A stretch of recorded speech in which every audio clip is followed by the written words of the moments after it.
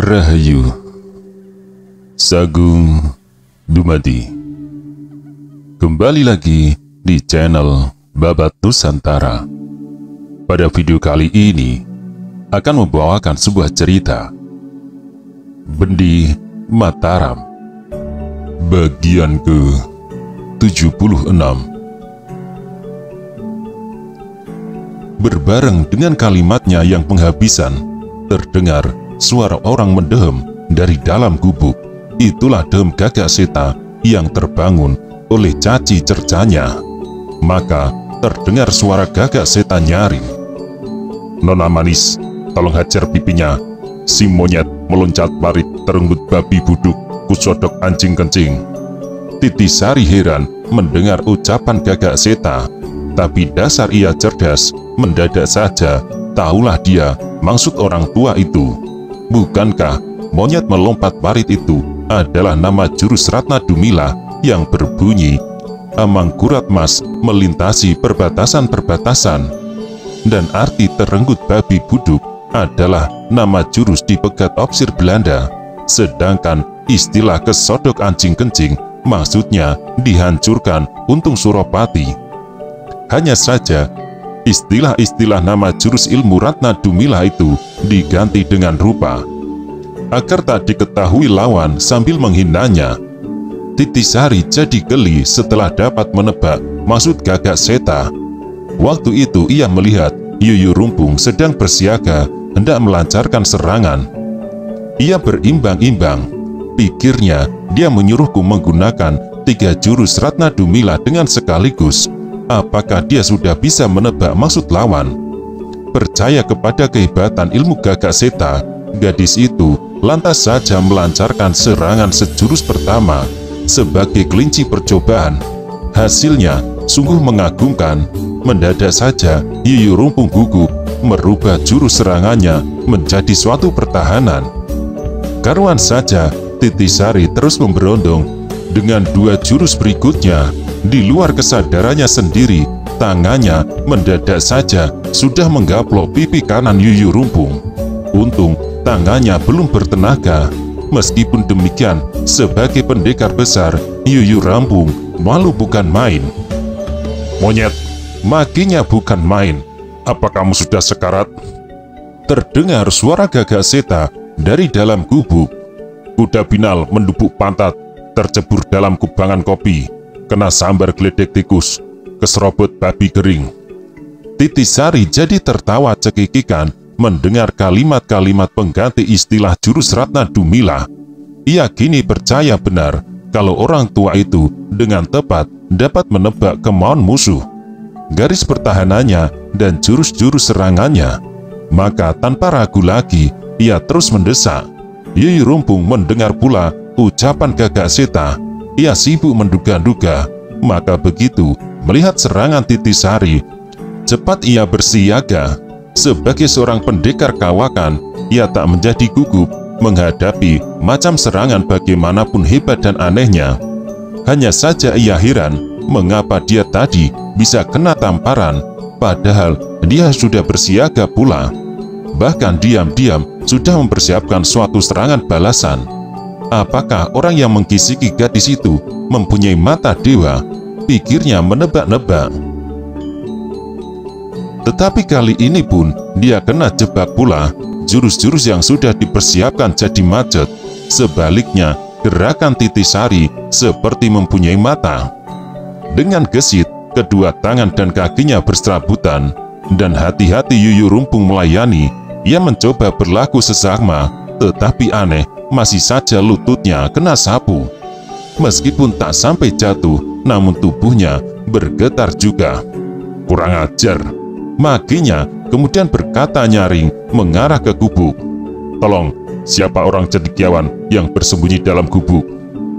Sampai sekian lama, ternyata dia belum juga mengenal suara siapa yang bersembunyi dalam gubuk. Sebaliknya, gagak seta tak mengindahkan Waktu itu dia lagi menggerayangi masakan titisari yang sudah disiapkan di atas tanah. Dia makan seperti kuda keranjingan, menghantam daging, menggerogoti paha ayam, mencicipi sayur, dan menyikat habis gorengan ikan sungai. Yuyu Rumpung jadi penasaran. Sebagai seorang penasehat sang Dewa Resi yang berwibawa di daerah Banyumas, ia merasa terhina. Maka dengan tak segan-segan lagi, ia mendesak Titisari sampai keribuhan. Berkali-kali gadis itu terancam bahaya. Untung dia gesit, sehingga senantiasa dapat menghindari semua pukulan. Sebaliknya, Sang Aji jadi cemas. Tanpa mengukur kepandaian sendiri, ia melompat kembali ke gelanggang. Sekarang aku minta sambal goreng dan bergedel anjing. Seru Gagak Seta dari dalam gubuk. Ternyata sambil menikmati makanan, orang tua itu masih bisa juga memberi nasihat-nasihat. Titisari segera tahu maksud Gagak Seta.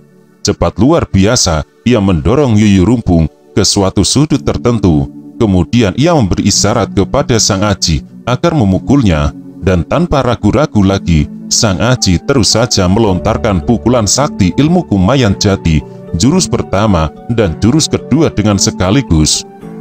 Yuyu Rumpung terkejut luar biasa, ia kenal kehebatan pukulan Sang Aji. Karena itu dengan mati-matian, ia mengelak dan menjatuhkan diri bergulungan di atas tanah. Setelah dapat berdiri kembali, ia segera berseru nyaring. Tuan yang bersembunyi dalam gubuk, sudahlah Tuan memperkenalkan nama Tuan, agar aku tahu diri. Tetapi sekali lagi, Gagak Seta tak mempedulikan. Enak saja dia mengerumuti makanan sambil memberi petunjuk-petunjuk dari dalam dinding. Titisari dan Sang Aji heran bukan kepalang semua jurus-jurus yang dianjurkannya selalu tepat. Dia seperti sudah dapat menebak apa yang akan dilakukan lawannya. Itulah sebabnya kerjasama mereka bertambah yakin dan yakin. Babi bangsat, Maki rumpung kalang kabut. Segera dia berusaha mendesak, tetapi selalu saja dapat digagalkan oleh jurus-jurus kedua anak muda yang terpimpin dari jauh. Kartawiryo yang menonton dari luar gelanggang jadi penasaran pula, ingin dia membantu, tapi segan kepada gurunya. Sebab kalau dia terus menceburkan diri dalam gelanggang tanpa seizinnya adalah bagi merendahkan derajat sang guru. Karena itu, seperti cacing terinjak, ia bergelisah seorang diri. Setelah cukup menghajar Yuyu Rumpung pulang balik, akhirnya Gagak Seta berkata, Nona Manis, tolong kisikan kepada binatang itu siapakah sebenarnya yang berkata ini dan bilang agar dia jangan berkisar dari tempatnya. Mendengar perkataan gagak seta, Titisari segera berkata sambil mendesak, Hai kau binatang buta, tahukah siapa yang berada dalam gubuk itu? Dialah paman gagak seta yang sudah kuberitahukan kepadamu terlebih dahulu. Dia minta agar kamu jangan berkisar dari tempat. Mendengar ujar Titisari, Yuyu Rumpung masih saja belum percaya. Dia berbimbang-bimbang dengan mata melotot. Dia mendamprat. Hmm, kau kira apa aku ini? Sampai bisa kau gertak. Titisari hendak membalas dampratan itu. Mendadak, ia mendengar gagak seta berkata nyaring. Nona manis, kemarilah sebentar dan biarkan anak tolol itu melayani anjing budu itu. Suruhlah menggempurnya dengan tiga jurus terus-menerus dan tak bakal dia bisa berani mendekat.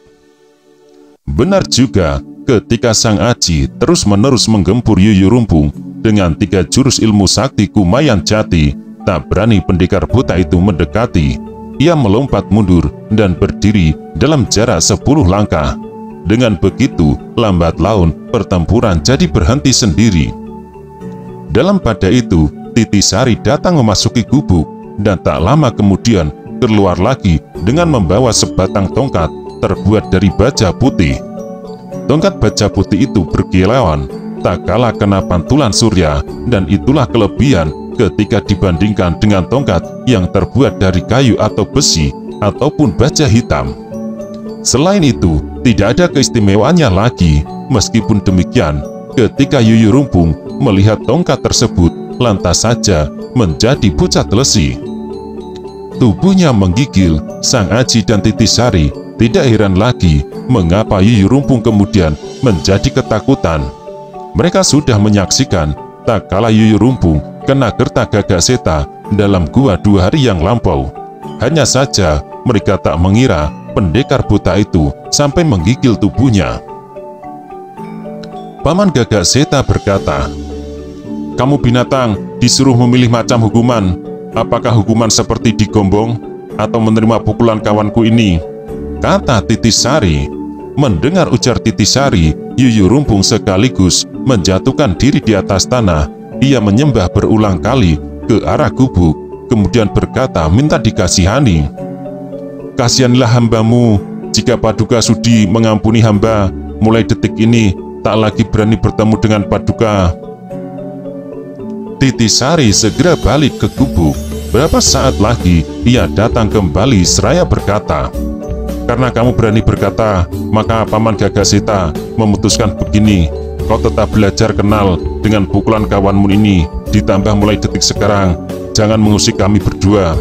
Jika melanggar dua larangan itu, nyawamu akan dicabut.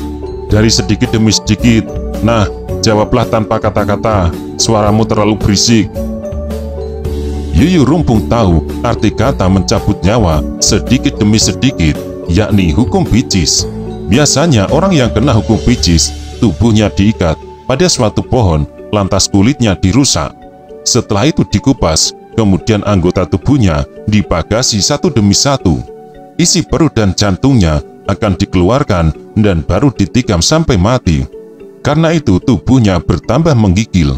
Kejadian itu menunjukkan betapa berwibawa nama Gagak Seta di depan matanya. Padahal dia termasuk salah seorang pendekar sakti undangan Pangeran Bumi Gede. Nah, bagaimana? Gerta Titisari seraya mengacungkan tongkat gagak seta.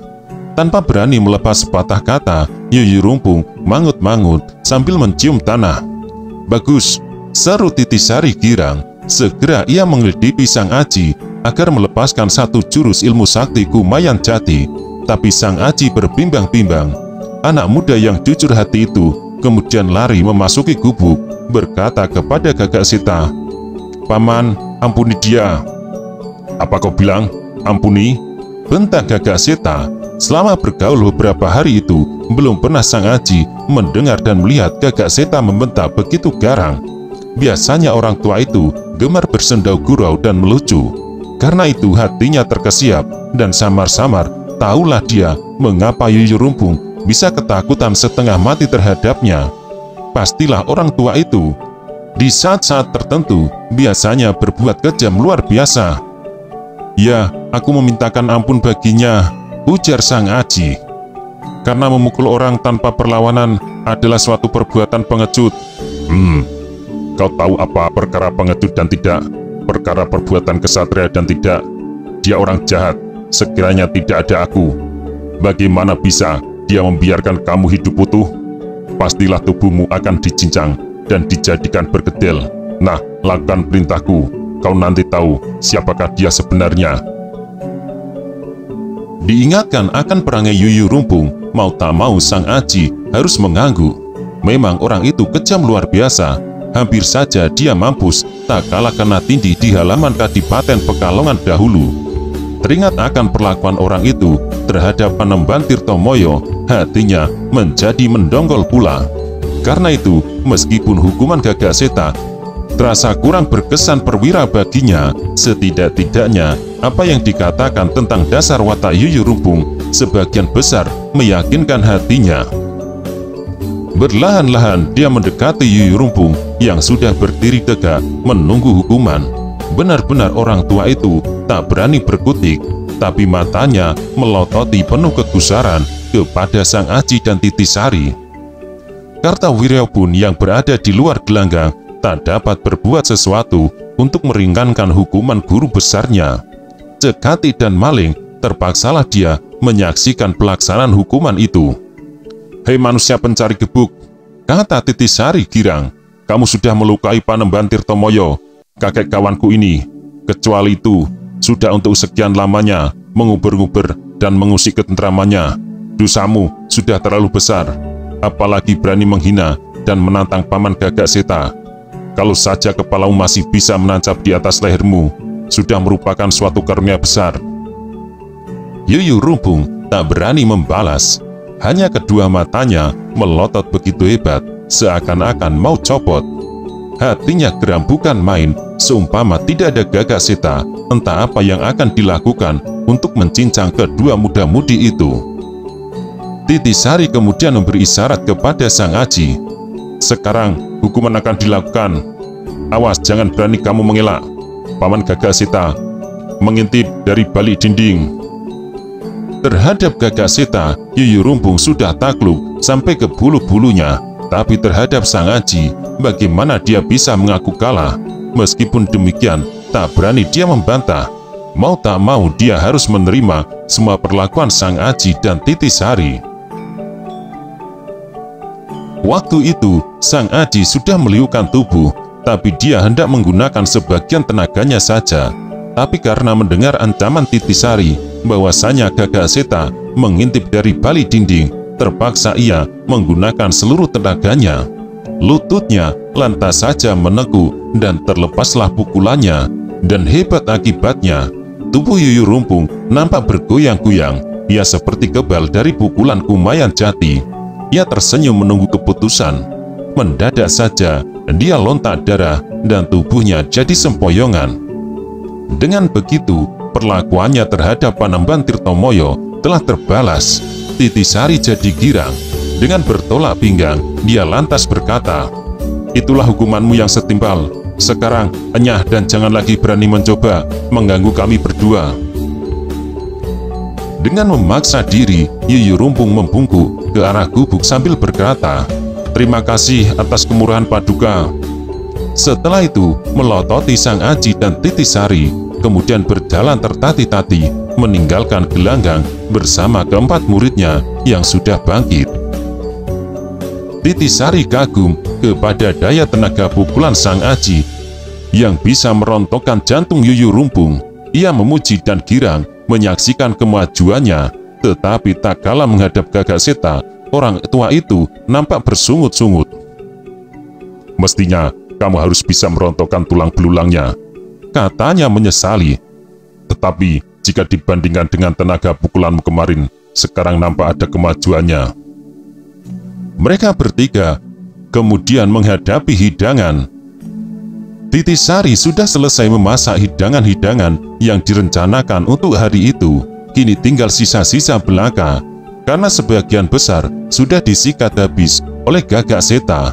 Tetapi kedua muda-mudi itu tak mengambil pusing, sebab hidangan itu memang sengaja diperuntukkan baginya.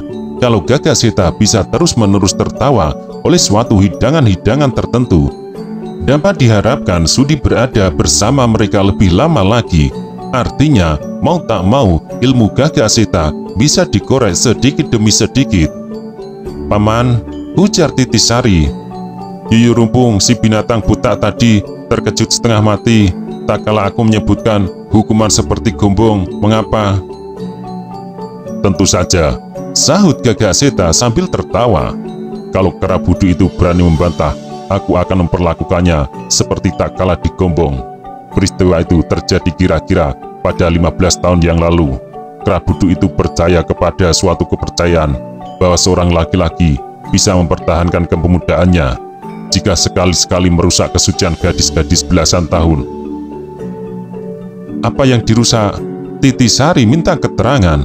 Titi Sari adalah seorang gadis polos, umurnya lagi menginjak 18 tahun. Belum banyak ia hidup dalam masyarakat, karena baru untuk pertama kalinya ini dia hidup berpisah dari orang tuanya. Semenjak kanak-kanak, ia hidup di samping orang tuanya, jauh di seberang lautan. Sama sekali, ia tak mengenal arti pergaulan antara pemuda dan pemudi. Dia hanya mendengar kabar bahwa pada suatu kali orang mesti kawin. Di Karimun Jawa pun sering kali dia melihat penduduk setempat saling kawin dan kemudian mempunyai anak. Mengapa semuanya itu terjadi? Otaknya yang masih kanak-kanak belum sampai mempersoalkan. Dalam sehari-harinya, ia hanya menekuni pelajaran-pelajaran dan pendidikan dari ayahnya. Tak kala ibunya meninggal, gara-gara perbuatan Abu dan Abbas, hatinya lantas menjadi gelisah. Ayahnya tidak lagi seramah dahulu, ia hanya nampak uring-uringan dan menghajar semua pegawainya. Terhadap dirinya, tak lagi ayahnya menaruh perhatian. Karena merasa sebal, lantas ia minggat. Pada saat itulah dia mulai mengenal arti penghidupan sebenarnya. Pengalaman-pengalamannya cukup pahit karena dia harus berjuang sendiri mencari sesuap nasi. Mula-mula dia mengandalkan harta benda yang dibekalnya. Setelah habis, mulailah dia menanggung sengsara. Kemudian bertemulah dia dengan Sang Aji. Ia senang bergaul dengan pemuda itu. Di luar kesadarannya sendiri, ia merasakan suatu kesedapan rasa yang manis luar biasa. Perasaan naluriahnya lantas tumbuh tanpa diketahui sendiri. Rasanya ia enggan berpisah dengan pemuda itu biar seujung rambut pun. Tak kala berpisah beberapa hari dengan Sang Aji, hatinya terasa menjadi sepi. Maka berpikirlah dia tentang pengertian suami istri. Menurut jalan pikirannya, seorang istri takkan pisah lagi dari suaminya. Karena tak ingin berpisah lagi dari Sang Aji, ia merasa diri menjadi istrinya. Dengan sendirinya Sang Aji adalah suaminya, selebihnya dia masih gelap. Gagak Seta terdiam sejenak ketika mendengar pertanyaan Titisari Sulit ia menjawabnya. Kelak saja, jika kamu pulang kembali ke rumah, tanyalah hal itu kepada ibumu. Ibu sudah lama meninggal, sahut Titisari. Oh, Gagaseta berdiam lagi. Kemudian seperti memutuskan, baiklah jika demikian, beberapa tahun lagi kamu akan mengerti. Suatu kali kamu akan menghadiri perayaan perkawinanmu, pastilah kamu akan mengerti tanpa penerangan lagi. Muka Titisari jadi merah dadu. Bukan disebabkan soal hayal berhubungan suami istri, tapi karena arti perkawinan itu sendiri. Ia malu terhadap sang aji karena orang tua itu seolah-olah membongkar kehendak hatinya. Baiklah, jika paman tak sudi menerangkan, katanya Gagaseta menjadi lega hati mendengar ujarnya, lantas meneruskan ceritanya. Pokoknya, si Krabudu itu mempunyai 45 gadis-gadis yang diperolehnya dari hasil menyerobot, paksaan, dan ancaman. Mereka semua hendak dikawini, kau tahu? Samar-samar Titisari mulai mengerti, mendengar Yuyu Rumpung hendak mengawini 45 orang gadis, hatinya menggeridik. Seumpama sang Aji, istrinya segitu banyak, pastilah dia tak terpandang lagi. Dan itu bukan tujuannya. Ih, serunya Bagaimana mengurusnya? Bukan diurusnya lagi, hanya dikumpulkan belaka. Mereka tersiksa lahir batinnya. Coba bayangkan, seumpama sang Aji mempunyai istri sekian banyaknya. Bagaimana perasaanmu? Titisari terkejut, terasa kepahitan menggigit hatinya. Tanpa merasa, air matanya jadi berlinang. Aku mendengar kabar itu. Gagak Seta meneruskan. Mula-mula, kuanggap sebagai dongeng Ketika benar-benar terjadi, dia segera kebeku dan kuajar sampai kepalanya buta. Setelah itu, dia kusuruh telanjang. Kedua lengannya kuikat erat dengan tongkat itu. Kemudian kupaksa mengantarkan gadis-gadis itu pulang, kembali ke kampung halamannya dengan telanjang bulat. Bisa kau bayangkan bagaimana hatinya tersiksa oleh hukuman itu. Gagak Seta tertawa gelak berkenang oleh peristiwa itu. Ujarnya lagi, Hatiku belum puas juga, tubuhnya lantas kusiram air gula, dan kulumuri daging mentah. Setelah itu, kukerumunkan pula segenggam semut merah dan serangga. Sudah barang tentu, dia mencak-mencak ribut tak karuan, sebab seluruh tubuhnya lantas saja menjadi gatal karena gigit semut merah dan panas diserang serangga. Sang Aji ngeri membayangkan hukuman itu. Sebagai seorang laki-laki, dapatlah dia merasakan Bagaimana hebat siksaan batin Yuyu Rumpung tak kalah melakukan hukuman itu. Kecuali malu bukan main, tubuhnya tersengat hebat oleh bisa serangga dan semut merah. Belum lagi disoraki orang sepanjang jalan dan terus pula mengantarkan pulang 45 gadis yang tempat tinggalnya berpencaran di kotanya masing-masing. Tapi Titisari berkesan lain, gadis itu bahkan bersyukur dalam hatinya mendengar kabar siksaan hati Yui Rumpung, katanya setengah bersorak. Mestinya dia harus paman siksa berjalan terbalik. Nah, itu namanya baru pantas. Tidak, tidak. Bantah gagak seta penuh kemenangan. Hukuman itu lebih berat daripada hukuman mati. Ah, Apakah begitu? Gadis itu heran. Ya, dan dia kuancam lagi. Apabila sampai bertemu aku kembali, nyawanya akan kucabut sedikit demi sedikit. Itulah sebabnya ia ketakutan setengah mati. Titisari diam seperti lagi memikirkan sesuatu. Tongkat paman seperti mempunyai keramat. Taulah aku sebabnya. Karena dia pernah terikat erat-erat pada tongkat itu. Begitu melihat tongkat itu, lantas saja dia teringat siapa pemiliknya. Tetapi sebaliknya kejadian tadi merupakan soal rumit bagi kami berdua. Bukankah kita tak bakal hidup bersama-sama untuk selanjutnya? Aku tahu pada suatu kali Paman pasti meninggalkan kami. Bagaimana kalau dia kemudian membalas dendam dan melampiaskan amarahnya kepada kami?'